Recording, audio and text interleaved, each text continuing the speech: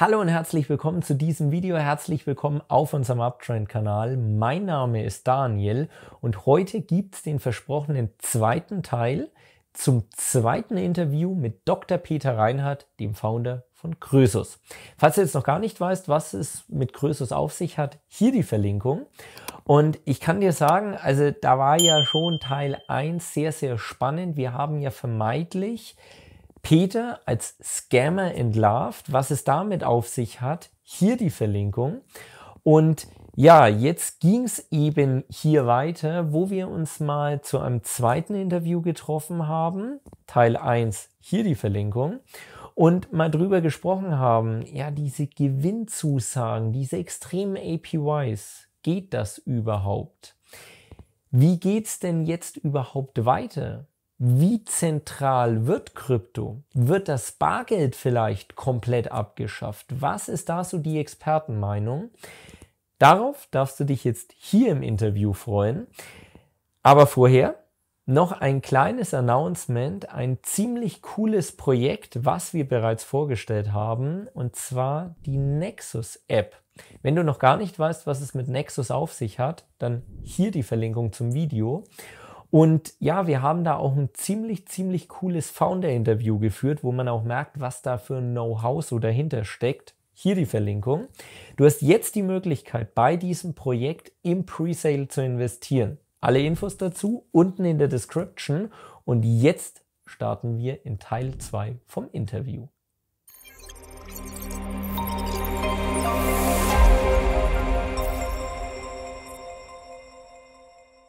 Wir suchen immer für die aktuellen Probleme nach Lösungen. Und Größus ist ja eine, ein, eine Reaktion auf die Zeit. Wir haben überlegt, wie kommen wir mit der ganzen schwierigen Konstellation, auch mit dem Verfall der Fiat-Währung zurecht? Wie können wir dezentral äh, sichern? Und da kommt alles zusammen. Ja, die Blockchain entwickelt sich immer weiter. Äh, die NFTs kamen dazu. Wir haben ein Modell geschaffen, wo wir maximale Sicherheit bieten können und in einer Kombination mit den exponentiell äh, exponentiell progressiven Wachstum des Unternehmens, also des Kapitals unserer Kunden.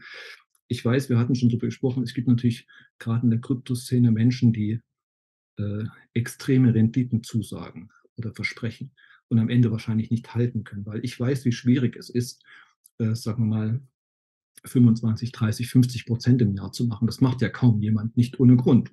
Ja, und wir bieten mindestens 100 Prozent an, weil wir von der anderen Seite kommen. Also ich ich breche es immer runter. Ja, ich gucke, äh, wenn ich äh, am Ende des Jahres 1000 Prozent habe, dann gucke ich nach Abzug, wenn ich alles glatt stelle, Kosten begleiche, dass da noch was übrig ist. Und da ist noch so viel übrig, dass alle zufrieden sind. Ja, ich kämpfe also nicht um 70, 80, 90, sondern ich komme von der anderen Seite und hole das meiste raus. Aber es ist halt nicht alles äh, so einfach. Deswegen bin ich immer sehr beeindruckt, wenn ich enorme Zahlen lese, Tausende von Prozenten und so, was die Leute machen. Ich muss zwölf bis 14 Stunden arbeiten, um ein Prozent am Tag zu machen. Ja, das klingt nicht viel, aber dieses eine Prozent setzt sich aus 200, 250 Einzelschritten zusammen. Und das ist eine Riesenarbeit. Äh, wenn jetzt meinetwegen andere Trader zuhören, die mögen das lächerlich finden, aber ich mache es halt so und ich mache ein Prozent am Tag durchschnittlich. Ich mache manchmal drei Prozent am Tag, aber ich mache manchmal nichts. Und äh, in der Summe komme ich dann auf die 1000 Prozent in der exponentiellen Progression. Das ist das, was ich kann und das verbinde ich jetzt mit dieser neuen Geschäftsmodell, dass wir sagen, wir sind aus Europa raus, das Geld ist nicht in Europa, die Wallet ist nicht in Europa, alles ist dezentral und die Kunden sind mit ihrem Geld bei uns sicher. Mhm. Und wir verdienen ganz am Ende. Ja, also das ist immer die große Frage, äh, wenn die, wenn die, äh, die, die äh, manche Leute fragen mich ja, wenn du so ein guter Trader bist, wozu brauchst du denn dann das Geld der anderen Leute? Ich brauche es nicht. Ja, das muss man immer den Leuten sagen. Ich kann mit meiner Performance mit mit einem 100.000 äh, Euro Konto ganz alleine wunderbar leben. Ich brauche das nicht, aber ich habe Spaß dran und äh, ich habe Spaß an der Performance und ich ziehe ja natürlich auch mein Team mit. Wir sind ein super Team und äh, jeder ist eine absolute Kapazität in seinem Fach und wir sind zusammen eine super Unit. Ja, also ich bin da sehr froh, dass wir uns so gefunden haben und äh, ich will das so lange wie möglich behalten. Also mindestens fünf bis zehn Jahre ziehen wir das durch und gucken mal, was geht. Und wir haben heute schon, ich weiß, dass ich in Hongkong von, von meinen ganzen anderen CEOs, mit denen ich verbunden bin, beobachtet werde. Ja, die beobachten uns, aber für die bin ich ein ganz kleiner, ganz kleine äh, Bude. Ja, also die haben, die sagen, warte mal, wenn du groß genug bist, dann kommen wir schon zu dir. Ja, also die haben äh, Summen, die die dort verarbeiten müssen, äh, die kann man sich gar nicht vorstellen. Ja, das ist also äh, eine andere Welt, aber wir sind halt nicht so so ein großes Unternehmen. Wir sind lieber klein und fein, flexibel, ja. äh, langlebig, sicher. Und ich kenne die Leute alle. Und in, in, jetzt geht es nicht mehr so, weil wir jetzt praktisch in einer, ein anderes Geschäftsmodell haben. Aber in meinem früheren Geschäft kannte ich jeden meiner Kunden. Ja. Das ist, also das dürfte auch jedem im letzten Interview auch aufgefallen sein, dass da eben auch die Ambitionen ganz andere sind. Also wo du auch von deiner Stiftung erzählt hast, etc. Da, da ist ja viel mehr dahinter als nur, ich habe da, ich verdiene da ganz viel Geld damit. Das ist ja immer so diese, diese Denkglaube und eher äh, zu vergessen, hey, pass mal auf, ich will da was Großes schaffen. Also, wo ich dich vielleicht ein bisschen abholen kann, weil das ist mhm. wirklich in der Tat immer so Augenwischerei. Es gibt ja zum einen die Staking-Modelle, ähm, die schütten am Anfang immens aus. Mhm. Und dann gibt es zum Beispiel sogenannte Auto-Compounding-Protokolle, die werden Copy and Paste diese Dinge erstellt. Die hauen dir teilweise vermeidlich, das ist dann Staking XXL auf gut Deutsch, mhm. 2 Milliarden Prozent APY im Jahr aus. Ja, jetzt pass auf, aber jetzt kommt das Lustige dran. Es immer wieder Menschen da erscheinen, also bis vor ein, zwei Monaten waren das fünf bis sechs solche Projekte, die pro Tag auf den Markt kommen. Die Leute investieren rein, weil die sagen, boah, krass, äh, zwei Milliarden, das sind ja dann, wow. Mhm. Ja, jetzt kommt halt nur genau das Ding. Keiner rechnet die Inflation mit. Weil wenn ich den Token so inflationär ausschütte, dann habe ich halt genau das gleiche Spiel wie bei unserem Fiat-Geld. Du hast ja null Wertsubstanz hinten dran, die Leute wechseln um und dann kommt mhm. nämlich genau dieser Umkehrschluss. Diese fetten Prozente sind ja ganz geil, aber wenn der Token nichts wert ist, bringt dir auch die ganze Menge nichts.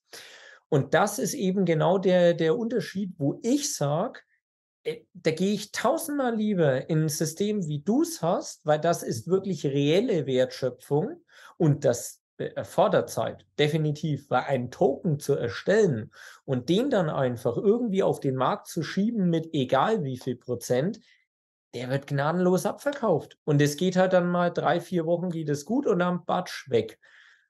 Und natürlich samt dem Geld, was da noch so drin ist. Das darf man jetzt an der genau, auch nicht vergessen. Ich sehe, ich sehe das eben auch und ich sehe auch nicht, wie die Leute überleben wollen langfristig bei solchen Zusagen. Ja, es ist immer, ich habe gelernt, es ist besser, du sagst 100 Prozent und machst dann 120. Ja. Ich habe gelernt, wenn ich 100 sage und geht nur 99, dann sind die Leute ein bisschen äh, weniger motiviert. Ja.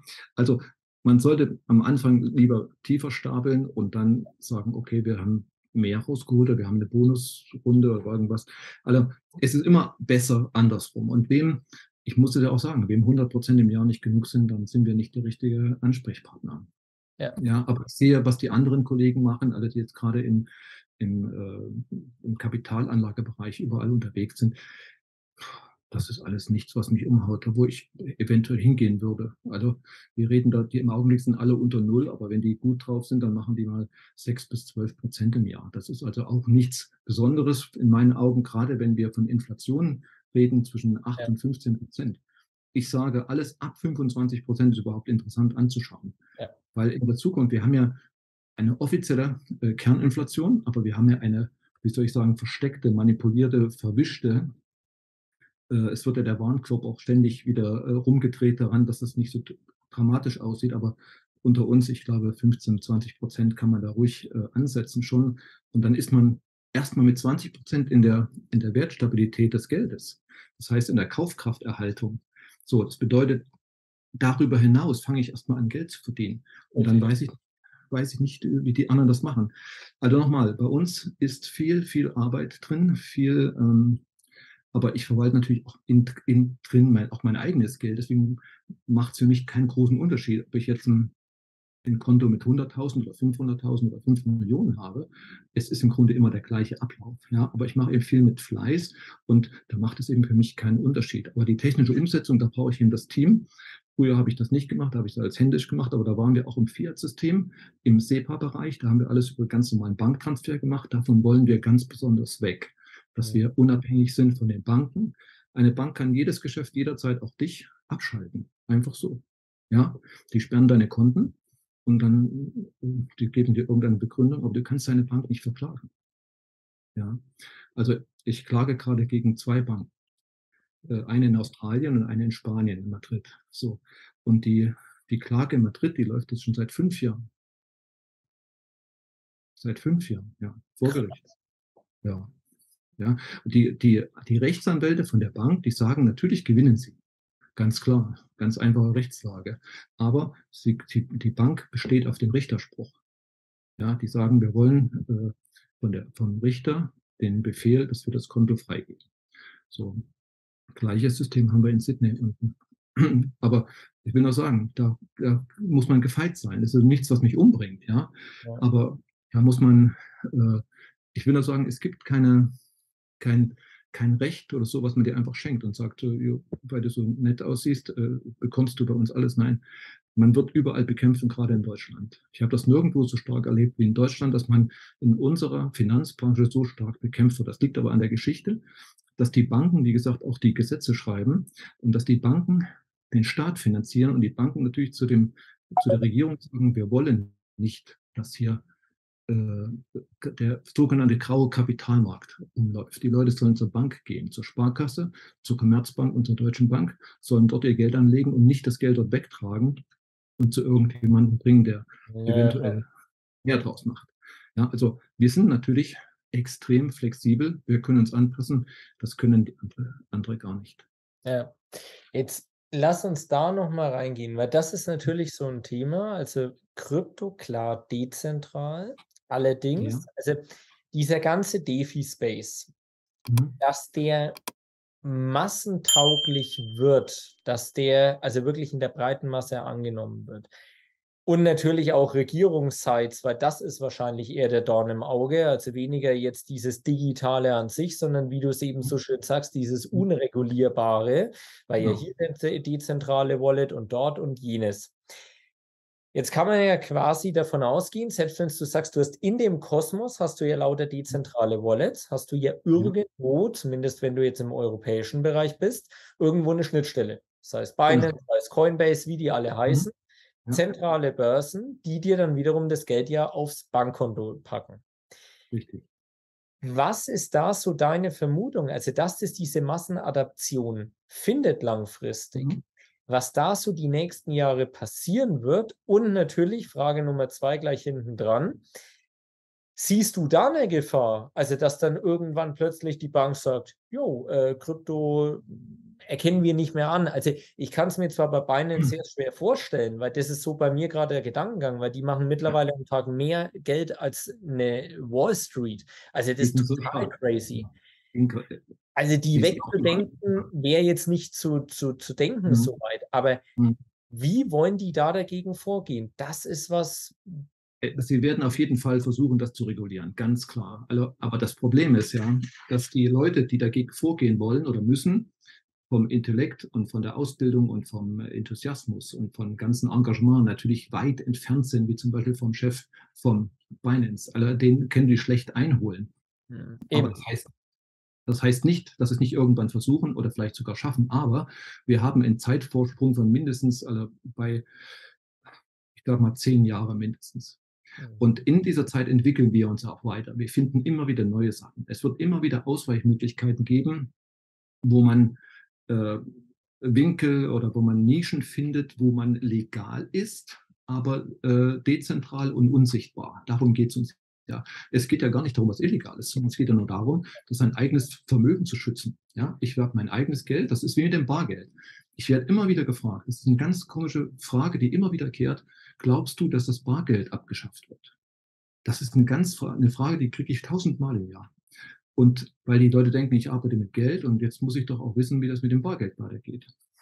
Die Leute machen sich Sorgen. Und da sage ich immer, Das Bargeld wird niemals abgeschafft werden, ganz einfach aus folgendem Grund. Also es wird eingedämmt, ganz klar. Man wird das wie in Italien sagen, alles über 1500 darf nicht mehr äh, bar gemacht werden. Ich denke, die Schnittstelle wird bei uns vielleicht so 10.000 Euro werden oder Dollar. Aber die Begründung ist ganz einfach, wenn ich das mal hier so sagen darf, äh, etwas äh, Nonchalance. Äh, alles die kleinen Schweinereien, die die Leute machen, also ihren, ihre Drogen und ihre Waffen und ihre, sagen wir mal, Nachtleben finanzieren, das machen die alles Cash. Das macht ja keiner mit der Kreditkarte oder mit dem Scheckkarte oder was. Sondern da, und da werden auch die Politiker oder die Entscheidungsträger niemals zulassen, dass sie da in, die, in das Scheinwerferlicht geraten. Die machen ja auch ihre kleinen Schweinereien und möchten das auch äh, praktisch im Verborgenen weitermachen. deswegen wird man immer Bargeld zulassen. Und dazu kommt noch äh, eine andere Sache. Ich lebe in Südostasien und Afrika oder niemals Südamerika. Alles Cash-Gesellschaften. Da gibt es nur Cash. Ja, also gerade in Afrika 1,4 Milliarden Menschen, Riesentheater, wenn man was mit der Karte bezahlen will. Alles nur Cash. Thailand, äh, Laos, Kambodscha, Malaysia, Indonesien. Nur Cash. Ja, Hongkong, da gibt es gar kein Kartenzahlsystem mehr, gar kein Cash mehr, gar nichts mehr. Da wird nur noch mit QR-Code bezahlt. Also das geht aber auch darum, um die Kontrolle zu haben. Ja, die Chinesen sind ja Weltmeister im Kontrollieren von allem und natürlich auch in den Zahlungsverkehr. Die wissen alles über dich, wann du wo was kaufst, mit wem. Und die wissen ja auch an den Bewegungsmustern, wer wo ist. Ja, da sind wir weit entfernt davon. Das will ja auch keiner. Aber ich sage nur mal so, wenn in Europa 500 Millionen Menschen oder vielleicht noch 330 Millionen in den USA die totale Überwachung hinkriegen, dann ist das immer nur noch 800 Millionen von 8 Milliarden. Also sagen wir mal, rund 10 Prozent leben in der totalen Überwachung. Vielleicht noch die äh, Chinesen in den Großstädten, aber auf dem Land eben auch nicht mehr. Also ich glaube nicht, dass sich das durchsetzen würde. Ich wäre einer, wenn die totale Überwachung kommt, ich würde in ein Land gehen, wo es nicht so überwacht wird. Ja. Wo man mit Cash alles machen kann. Also ich habe immer das Problem, dass ich nicht genug Cash habe, sondern alles mit Karte bezahlen will, weil ich das so gewohnt bin. Ich kann ja auch nicht äh, kiloweise immer Geld rumtragen, sondern äh, ich muss immer gucken, wie ich da zurechtkomme. Ich muss immer, ich gehe immer in dieselben Restaurants, ich gehe immer in dieselben Supermärkte, wo ich äh, ausnahmsweise mit Karte bezahlen kann und die anderen Geschäfte alle nur mit Cash laufen. Also ich denke, es wird eingedämmt werden. Und äh, nochmal zurück zu deiner Frage, um das abzuschließen es wird immer Bestrebungen, die Freiheit der Bürger einzuschränken, zu kontrollieren, zu überwachen. Die wird es immer geben und es wird immer stärker werden. Im Augenblick ist es auch so, dass die Amerikaner und die Europäer von den Chinesen lernen. Ja, die importieren ja denen ihre Technik. Ja, die wollen das Punktesystem auch einführen, nicht so radikal, aber das wird auch gemacht, um einfach die Leute äh, an die Kandara zu kriegen. Da wird es aber immer wieder, äh, wieder spenstige Leute geben, die sich dagegen auflehnen, wie ich. Also ich gehe dann, ich kämpfe nicht, aber ich gehe woanders hin und das machen eben viele andere auch. Und, aber die Bestrebung wird es immer geben, ob das erfolgreich ist, sehe ich nicht. Aber Kryptowährungen, NFTs, das wird man alles zu regulieren versuchen, aber das sind wir weit davon entfernt. Weit davon entfernt, weil die, du siehst ja, wie schwierig das ist, ja, da, dahinter zu steigen und das zu kontrollieren und allein vom, vom Know-how. Und es ist auch nicht so, dass die, äh, wer sich da auskennt in der Materie, der wechselt ja sofort das, äh, die, die, Seiten. Ja, der geht sofort zu Binance und fängt bei denen an. Warum soll der sich für irgendeine Regierung da äh, krumm machen, um die Leute zu verfolgen, wenn er auf der anderen Seite viel schöner leben kann und weiß, wofür es macht? Also eher dann deine Vermutung, dass das Ganze ja quasi in der Zukunft einfach weitergeht und ähm, das, wie du so schön sagst, mit, hm. mit Hase, ha Hase und Igel war es, glaube ich. Hase und Igel. Äh, genau, Hase und Igel, dass es halt hm. immer so eine Weiterentwicklung ist. Der eine ja. bringt das, der nächste bringt das wieder nach, dann kommt hier wieder ja. was mit dazu. Also man sieht ja auch, was in dem Space äh, so passiert. Mhm. Also ich habe ähm, erst nach, nach Dubai einen Call gehabt, wo es jetzt auch hieß, da war ja große Expo etc. Mhm. Dubai ist da auch nicht so dieses Dezentrale, weil die bekommen natürlich auch von aller Seite Druck, wo es dann heißt, so, ja, ist toll. Wenn es den Emirati über den Tisch ziehst, dann bist du im Kopf kürzer. Wenn es halt ja. mit dem Rest der Welt machst, ist denen das relativ herzlich egal. Kann man natürlich auch machen, aber mh, hm, es kommt natürlich jetzt so bei der kompletten Welt auch nicht so an. Mhm. Aber da merkt man auch, also wir haben uns da mal kürzlich damit auseinandergesetzt, Firmengründung in Dubai für ein Kryptounternehmen. Mhm. Na, viel Spaß, wenn du denkst, das ist einfach und Bürokratie mhm. ist nur Deutschland, alles klar. Habe ich auch anders gelernt.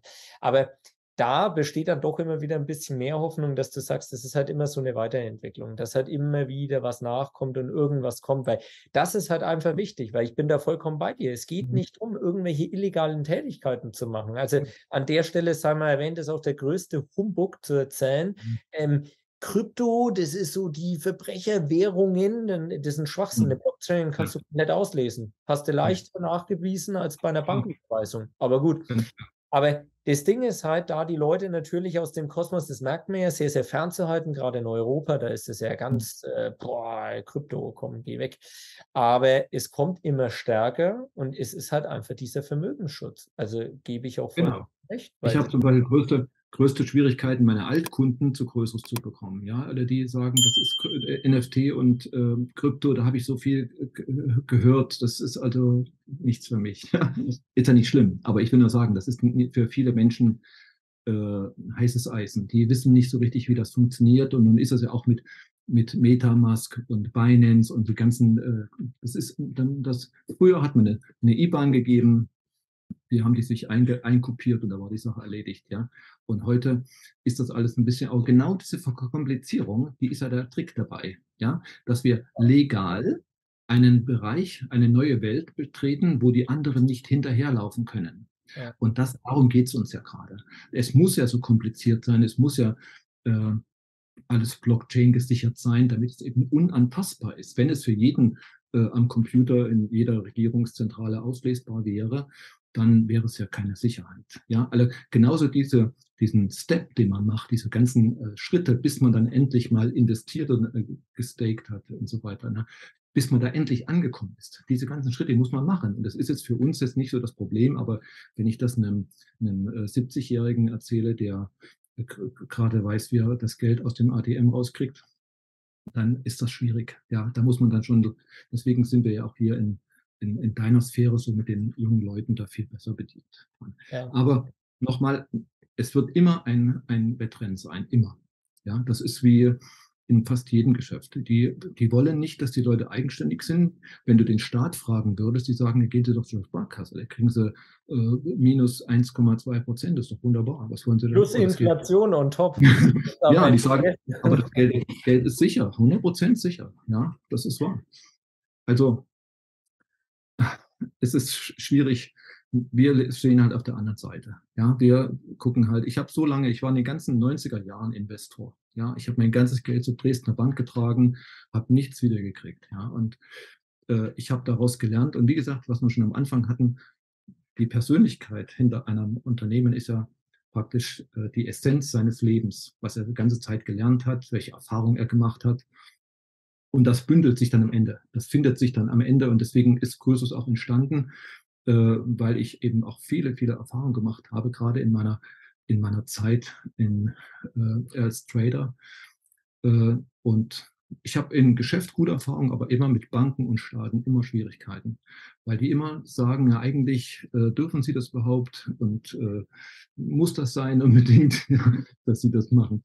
Und äh, das ist immer ganz schwierig, ja. Und dann muss man immer äh, Genehmigungen, Lizenzen und so weiter haben. Und das ist ganz, ganz schwierig. Also es gibt da auch für den, Seit für den Kunden nicht die Freiheit zu wählen. Er muss auch gucken, darf der das überhaupt machen, dem ich mein Geld anvertrauen möchte. Ja, und das ist alles so. In meiner, in meiner Welt könntest du frei entscheiden, was du mit deinem Geld machst. Und du müsstest nicht jemanden vom Staat fragen. Der Staat sagt, ich muss dich aber schützen, weil du zu dumm bist, das selbst einzuschätzen, was gut für dich ist. Ja, und ich als Staat sage dir, geh zur Sparkasse. Das ist das Beste für dich.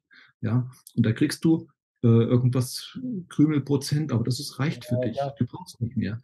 Das reicht doch, wenn wir genug Geld haben. Du musst doch nicht unbedingt so viel Geld haben.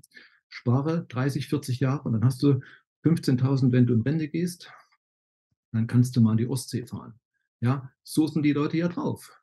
Ja, und das, das stört mich nur so ein bisschen, wenn ich immer sage, die Politiker, ja, die greifen hin, wenn ich immer gucke, was im Europaparlament los ist, was die sich für Gehälter zahlen. Jetzt haben sie den, Inflationsausgleich beschlossen, die kriegen sie mal eben äh, 8% sofort mehr, auf 40.000 nochmal 8% obendrauf. Ist ja alles frei für die, ja, die fliegen frei, die wohnen frei, die, die äh, kriegen Wohnkostenzuschuss. Unfassbar. Alle, was die für Gelder dort äh, haben. Man muss ja, wenn man sich die Zahlen mal anguckt, ja, was da für die Verwaltung der Europäischen Union verbraten wird, das kann man sich gar nicht vorstellen. Das wird ja auch nicht kommuniziert, weiß ja gar keiner. Ja, wenn man sich vorstellt, dass 60 Prozent der ganzen Gelder in der Verwaltung verschwinden, da muss man doch mal fragen, Leute, was ist denn da los? Braucht das ist überhaupt? Das Scam. Ja. Würden sie jeden einsperren? Jeden. Ja, und die betrügen und die, die, ich, wenn, wenn ich wenn man mal hinguckt, jetzt, was gerade mit diesen äh, Verträgen, gerade mit den Pharma-Riesen dort angerichtet wird. Ja, also ich denke, die werden alle noch viele Jahre mit Gerichtsprozessen sich rumschlagen müssen. Und naja, wie gesagt, das ist nicht unser Thema, aber wir versuchen einfach in, in, in unserer Sphäre gutes Geschäft zu machen. Wir, wir verkaufen unser, unsere, unser Know-how und wir arbeiten mehr als viele andere. Und äh, Stundenlohn kann man da auch nicht äh, hingucken. Ich kann ja auch nichts weiter machen in meinem Leben. Ich sage immer, mehr als dreimal am Tag warm essen kann ich auch nicht. Ja? Und wie gesagt, ich habe mein Einkommen selber gedeckelt und lasse alles andere die Stiftung fließen. Und das ist uferlos, kannst du dir ja vorstellen. Ja, absolut. Da, da kann nicht genug Geld ankommen. Also an der Stelle hm? vielen, vielen lieben Dank für dieses tolle Interview mal wieder. Ja. Mhm. Also ich, ich sage schon, wir können das echt gerne häufiger machen, dass wir da immer mal wieder ein Update machen, was gibt es Neues, was passiert. Der, der, wird ja nie langweilig. Also man kann hier immer wieder über neue Themen kommen. Es entwickelt sich auch. Wir wissen ja auch gar nicht, wo wir in einem halben Jahr stehen. Ja, also ich, äh, wenn du dir meine Videos anguckst oder wenn du mal bei Medium reinguckst, ich äh, sehe ein bisschen schwarz. Ja, also ich sehe nicht, wie wir da aus der ganzen Nummer rauskommen wollen. Äh, wie sich das wieder befrieden lassen soll. Jetzt gerade, wo die Nord Stream Pipelines nicht mehr da sind und nie wieder ins Netz gehen können. Ja, ich habe heute gerade gehört, dass die für immer zerstört sind durch den Salzwassereintritt. Man kann die, ja, ja, man kann die nicht reparieren. Also wenn die einmal, die sind jetzt voll mit Salzwasser und die sind jetzt von innen zerstört. Also das bedeutet, die vier Milliarden, die dafür ausgegeben worden sind, die sind futsch. Ja? Also wenn ich mir sowas vorstelle, was da für Arbeit und für Geld verschwendet wurde. Ja, und zerstört ist schnell mal was. Da denken Leute gar nicht drüber nach. Und das ist ja immer das Totale in diesen Kriegen. Kaputt gemacht ist schnell was, ja, aber aufbauen, das äh, wird viele, viele Jahrzehnte dauern. Also, und ich sehe langfristig die Energieversorgung in Deutschland gestört und es wird auch dazu führen, dass keine neue Industrie mehr kommt und nichts mehr nachrückt. Die Leute gehen ja alle weg. Alle heute schon entscheiden die großen äh, Industriebetriebe, nicht mehr in Deutschland zu investieren. Und das, das hat einen Rattenschwanz, das, das hat äh, Langzeitwirkungen, die wir uns gar nicht vorstellen können. Und deswegen sage ich, Deutschland wird zurückgebaut. Ja? Es wird deindustrialisiert. Und auch die Ausbildung, die einmal abgerissen ist. Das bedeutet, wenn ich mal zehn Jahre keinen ausgebildet habe, dann kann ich nicht wieder damit anfangen, weil das Know-how verschwunden ist. Ja. Und das Know-how ist abgewandert. Die, die, sind dann in Asien oder in den USA. Aber in Europa ist dann keiner mehr. So, und wir haben in Deutschland den ganzen Laden am Laufen gehalten. Das bedeutet, äh, Italien, Griechenland, Spanien, Irland, die können alleine gar nicht überleben. So, wenn Deutschland nicht mehr da ist und Holland. Ja. Und das war's dann. Und das sind diese Langzeitfolgen, wo auch Leute wie du, die jetzt noch in Deutschland leben, sich langfristig Gedanken machen müssen. Äh, ja, was mache ich denn? Ja, wie geht's denn weiter für mich? Ich muss ja auch hier ich habe auch Familie noch in Deutschland und äh, wir überlegen äh, ständig, wie wir das irgendwie regeln. Aber gut, will deine Zeit nicht. Vielen Dank für deine Zeit und wenn Du, jederzeit. Also ich, ich setze mich da einfach nur hin und höre ja. einfach zu.